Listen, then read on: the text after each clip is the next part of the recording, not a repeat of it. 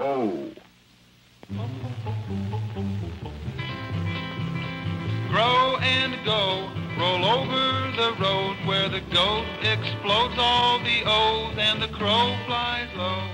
Past the croaking toad and the boat floats over the ocean, but the wind did blow and it started to snow. So the toad went home to the telephone.